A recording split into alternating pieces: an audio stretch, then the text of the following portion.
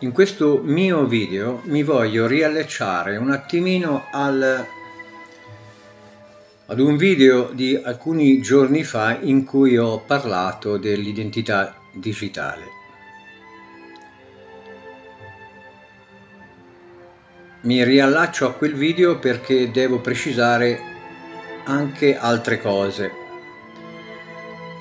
che cos'è l'identità digitale? L'identità digitale è un'applicazione che partirà in via sperimentale i primi del, di marzo di quest'anno e entrerà a regime nel 2024.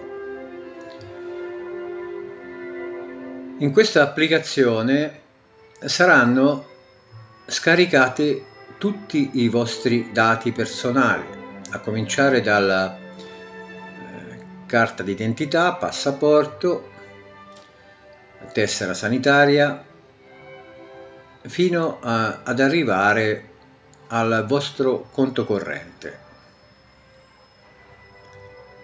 Una volta scaricata, ripeto, non potrete tornare indietro cercheranno di convincervi a scaricarla dicendovi che con questa applicazione potrete via online fa, fare qualsiasi documento invece di recarvi magari in qualche ufficio pubblico. Quindi loro vi diranno che vi renderanno le cose molto più semplici. E in questo modo cercheranno di farvi abboccare. Non abboccate, perché una volta scaricata voi non potrete tornare più indietro. Che cos'è in pratica, in poche parole, questa identità digitale? L'identità digitale è la versione aggiornata del Green Pass. Il Green Pass è stato un primo scalino. Ecco, volevano arrivare a questo, Attraverso questa identità digitale che poi si trasformerà piano piano in una, chiamiamola patente a punti, dove eh, avrete, non so, 100 punti, partirete con 100 punti, no? E ogni volta che voi farete un'infrazione oppure, mm, non so, non pagate in tempo mm, un bollettino, vi verranno sottratti due punti, tre punti prendete una multa perché non vi fermate al rosso, prenderete 5 punti.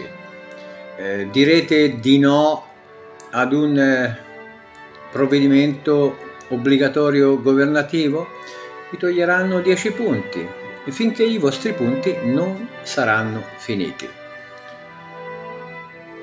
E una volta finiti, praticamente siete fuori, fuori dal sistema, sarete annullati.